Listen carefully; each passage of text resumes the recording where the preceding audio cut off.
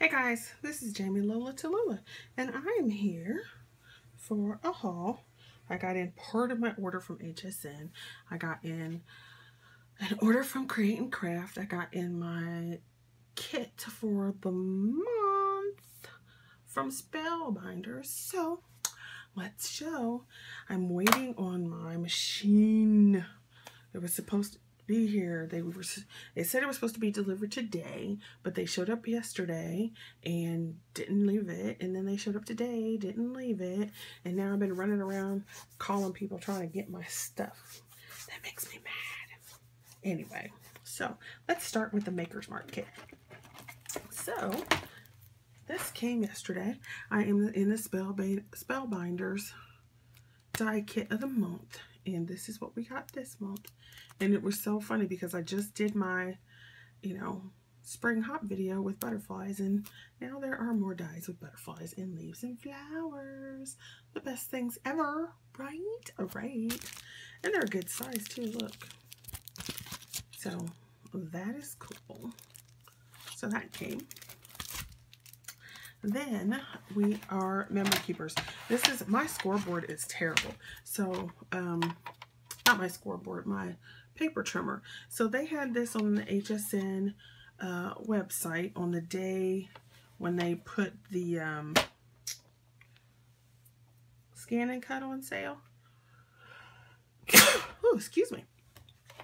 So I thought I would buy, I would check this out because I needed a new one. So basically this is a We Are Memories Keeper one. And as you see, it folds in half.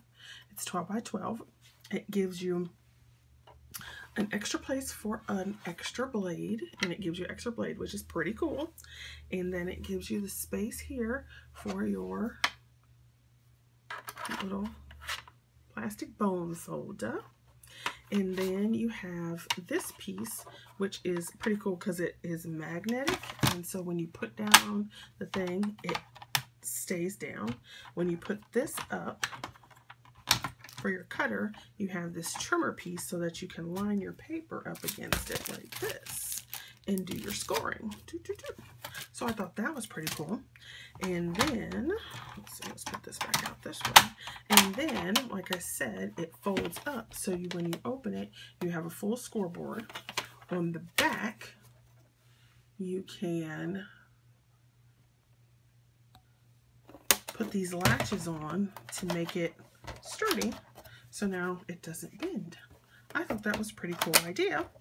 So I thought I would try it and there you go. So it just folds back up like that. It does a little click and you can go. So click and go.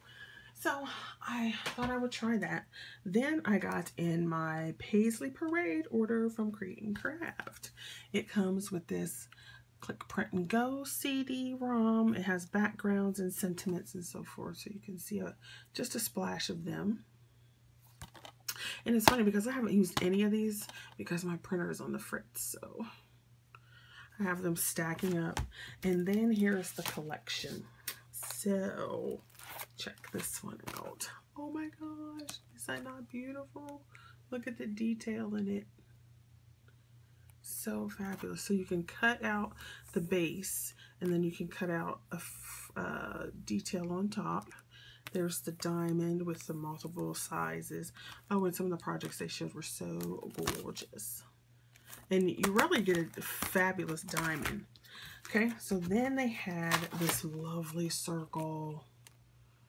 Interlocking circles. So you see that beautiful detail. Isn't that gorgeous?